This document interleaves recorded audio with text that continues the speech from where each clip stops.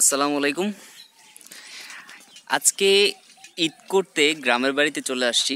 ঈদের আর একদিন বাকি, কালকে ঈদ, আজকে শুক্রবার। এই শুক্রবারের দিনটা আসলে খুব ভালো যায়। আমাদের গ্রামের বাড়িটা হচ্ছে পাহাড়ি এলাকায়। দেখেন, আমার পিছনে যে পাহাড়গুলো দেখতে পাচ্ছেন, সে পাহাড়গুলো কিন্তু ইন্ডিয়া। India border. আর এই পাশে আছে আমাদের নদী, যেটাকে শালদা নদী বলে।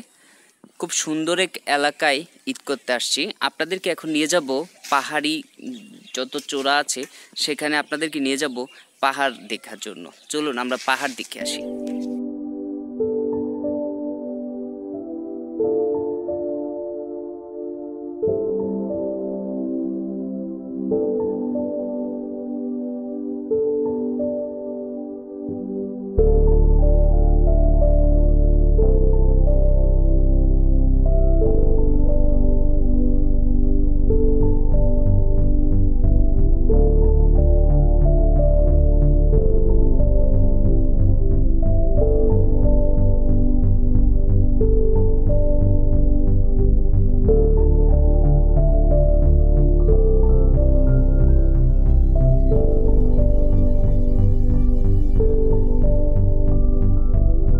আলাইকুম। দেখেন, আমার গ্রামটা কত সুন্দর। পাহাড় আর পাহাড়। আমরা এখন পাহাড়ের চূড়ায় উঠব। উপরে দেখেন, শুধু গাছ আর গাছ। ওই যে একটা বাড়ি দেখা যাচ্ছে। এই বাড়িটা হচ্ছে কেউ মেবি থাকে, কিন্তু আশেপাশে যা অবস্থা, আমরা চলেন বাড়িটা আগে পর্যবেক্ষণ করি কি আছে এটাতে। চলুন দেখা যাক। এই বাড়িতে যাওয়া সম্ভব না। এত পোকামাকড়, বড় বড় কি যেন আছে এগুলা যুগের মতো। ওই বাড়িটাতে যাওয়া সম্ভব না। আর আমরা অন্য এক ব্যবস্থা ধরে আমরা পাহাড়ের উপরে উঠব। আমরা এখন একটা সুন্দর পাহাড়ে চূড়ায় উঠতে যাচ্ছি। খুব সুন্দর একটা জায়গায়। আমার সাথে আমার ছোট ভাই আছে আমার গ্রামের। তারা ক্যামেরার সামনে আসতে চাচ্ছে না।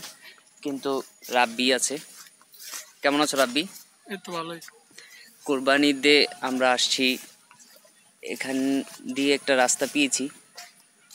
এদিক দিয়ে যাওয়া যাব এদিক দিয়ে মনে ওঠার রাস্তা আছে। না, সামনেই। আচ্ছা যাই হোক, আমরা দেখি। এত উপরে যা, যাচ্ছি। যেতে যেতে দেখি কি অবস্থা। আমরা এখন পাহাড়ি রাস্তা বেয়ে উঠছি উপরে। রাস্তা নাকি পানি যাওয়ার রাস্তা? ঠিক বুঝতে পারছি না। ভয়, আতঙ্ক দুইটাই কাজ করছে। পোকা মাকড় কত কি আছে? হৃদয় হাঁপাই গেছে, আমিও হাঁপাই গেছি ও নো নো নো ভাই আমার অবশেষে মনে হচ্ছে উফ কাটা। অবশেষে মনে হচ্ছে আমরা উঠে গেছি সেই কাঙ্ক্ষিত জায়গায়। এই যে বন্ধুরা দেখতে পাচ্ছেন আমার পিছনে যে জায়গাটি আছে ওই দূরে একটা ঘূর্ণিঝড়ের মতো মেঘ দেখা যাচ্ছে। উফ খুব উপরে উঠেছি পাহাড় আর পাহাড়। বান্দরবনকে পিচ করছে এই জায়গাটা? অবশেষে অনেক উপরে উঠেছি, আপনারা নিজেই দেখতে পাচ্ছেন। আমার নিচে অনেক ঢালু, এর উপরে উঠেছি। পাহাড় আর পাহাড়, এত সুন্দর একটা জায়গায় আমি ঈদ করতে এসেছি। খুব খুব সুন্দর একটা জায়গা। সেই জায়গাটাতে আসছি। আপনারা দেখলে একবার চিন্তা করতে পারবেন না আমি কোথায় আছি। সেটা হচ্ছে যারা আসতে যাচ্ছেন তাদেরকে আমি বলব, এটা হচ্ছে শালদা নদী, কসবা থানা, শালদা নদী কোলাপাত্তর গ্যাস ফিল্ড, যেখান থেকে সর্বপ্রথম গ্যাস চালু হয়েছিল, সেটা হচ্ছে এই একটা জায়গা। আমার পিছনে যে জায়গাগুলো দেখতে পাচ্ছেন, এগুলো হচ্ছে সম্পূর্ণ ভারত। আমি ভারতের একবারে প্রান্তে আছি। আরও ভিতরে যাওয়ার চিন্তা করছি, আর আপনাদের নিয়েও যাচ্ছি। জানি না সামনে কি আছে। কিন্তু সাপ, বড় বড় পুকের ভয় আমার আতঙ্ক লাগিয়ে দিয়েছে। অনেক ভিতরে যাচ্ছি। আমার মনে হয় এর চাইতে ভিতরে যাওয়াটা ঠিক হবে না।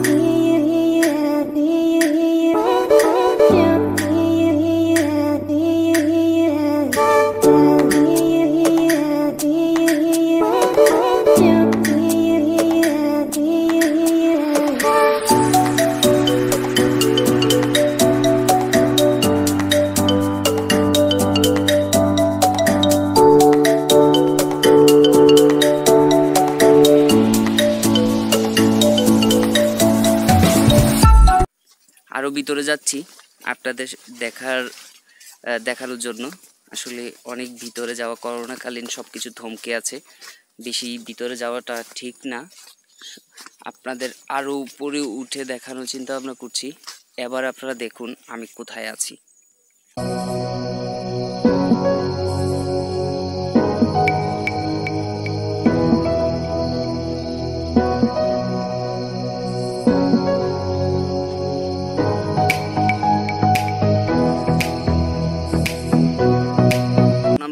যাচ্ছি।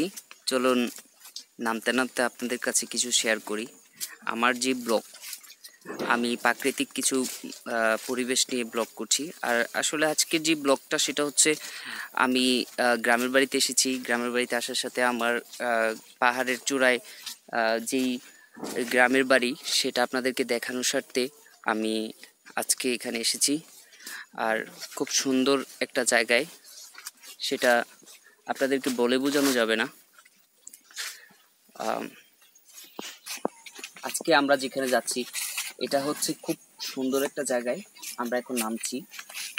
আসলে আমাদের যেই জায়গাটা খুব খুব সুন্দর একটা জায়গা, সেখানে ঈদ করা একটা সৌভাগ্যর বিষয় আমি মনে করি।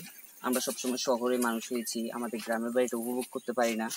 এখানে একটু দেখেন, এই যে পাশে ইন্ডিয়া, তার সাথে আমাদের এখানটা খুব সুন্দর একটা এখন আমরা পাহাড় থেকে নামবো। বেশিক্ষণ থাকাটা এখানে ঠিক না।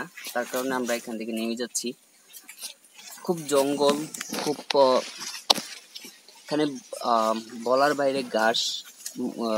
কয়েকদিন মানুষ আসা যাওয়া করে না, এখানে ঘুরতে আসে না।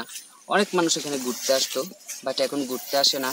তার কারণে গাছগুলো দেখা যাচ্ছে অনেক পোকামাকড়গুলো একটু গর্জে উঠেছে। তার কারণে এখানটার পরিবেশটা আসলে বলার মতো না। এখানে ব্লক করার মতো একটা স্পেশাল জায়গা ঘুর- আসার মতো, মনটাকে শান্তি করার মতো একটা স্পেশাল জায়গা হচ্ছে শালদা নদী, কসবা থানা। আপনারা যারাই পারেন, তারা আসবেন। আমার একটা কথা হলো, আপনারা দেখে যাবেন। অনেকে বান্দরবন ঘুরেন, অন্য জায়গায় ঘুরতে যান। কিন্তু এখানে যে পরিবেশটা, সেটা একটু ঘুর- ঘোরার জন্য উপভোগ করবেন। দেখবেন আপনার ভালো লাগবে। খুব সুন্দর একটা জায়গা। ধন্যবাদ। ভালো থাকুন, সুস্থ থাকুন। আজকে যে ঘরটাতে এসেছি, আমরা এবার নামবো, নিচে আমাদের জন জনগণ পেয়েছি। এতক্ষণ জনমানব শূন্য ছিলাম। একটা জঙ্গল, খুব সুন্দর একটা জায়গায় আজকে ব্লগ করতে এসেছি। আপনাদেরকে নিয়ে আসলাম। এজন্য আমি যে পাহাড়ের চূড়ায় যে ঈদ করতে এসেছি, সেটা আপনাদেরকে দেখাবো। আর কালকে আমরা গরু জবাই করব, নামাজ পড়ব, খুব আনন্দ করব। তার জন্য আমার লাইফ স্টাইল ভিডিওটা হচ্ছে এরকম। আমার ঘুরে, ঘুরতে আসাটা খুব একটা ইচ্ছাটা যতটুকু, তার চাইতে আমার এই জায়গাটা সবচেয়ে বেশি ভালো লাগে। এই যে দেখতে পাচ্ছেন কাঠবিড়ালি। কাঠবিড়ালি এখানে আপনারা দেখতে পাচ্ছেন কিনা কতটা দেখতে পাচ্ছেন আমি জানি না। এখানে মানুষ অনেকই চাষাবাদ করে, গাছের চাষাবাদ করে। তারপর হচ্ছে, এখন আমরা কিছু খাওয়া দাওয়া করব। খাওয়া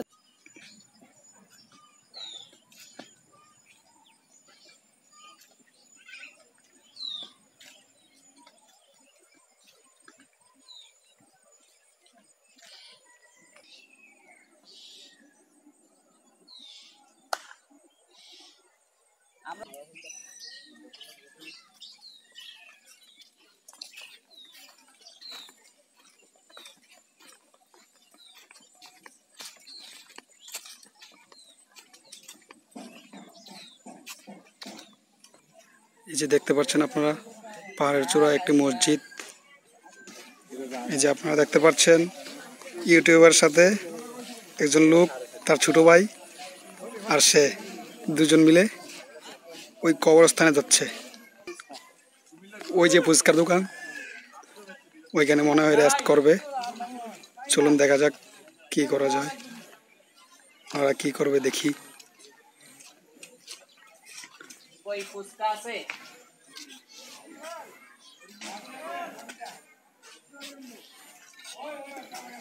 আমরা এখন ফুচকা খাব, আর ফুচকা আপনাদেরকে নিয়েই খাব, একা খাব ভাই ফুচকা আছে? চটপটি আছে? আহ, চটপটি কত করে ফুচকা কত করে?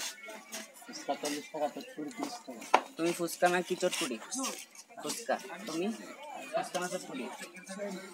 তাহলে এই ফুচকা দিবেন দুইটা একটা চটপটি দিবেন। ফুচকা বাড়াই দিবেন। চটপটিটাতে এগুলো তো একটু পরিষ্কার না ভাই পরিষ্কার করে দেন।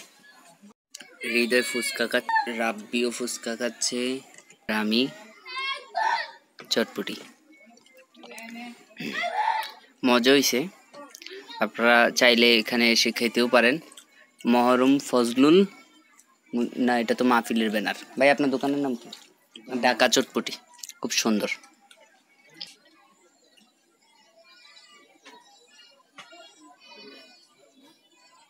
এখানে চাইলে আপনারা চটপটি খেতে পারেন। ঢাকা চটপটি। খুব মজা হয়েছে এটা হচ্ছে শহীদ মিনারের গেটের অপর পাশে পুকুরের ঘাটের সাথে। খুব মজা। আমার গ্রামের বাড়িটা পুরোটা ঘুরে আমি আপনাদেরকে দেখাবো। দেখানো, যারা আমাকে সাবস্ক্রাইব করেছেন, তারা, তাদেরকে ধন্যবাদ। আর যারা সাবস্ক্রাইব করেনি এখনই সাবস্ক্রাইব করবেন নতুন নতুন ভিডিও পাওয়ার জন্য। আমি প্রত্যেকটা এলাকায় এরকম বনভোজন বা সব পরিস্থিতিতে আমি ব্লগ করব, আপনাদের পাশে থাকব, আপনারাও আমার পাশে থাকবেন। যারা আমাকে এখনও সাবস্ক্রাইব করে নেই, প্লিজ সাবস্ক্রাইব করুন। ধন্যবাদ, ভালো থাকুন, সুস্থ থাকুন, ঈদ মোবারক।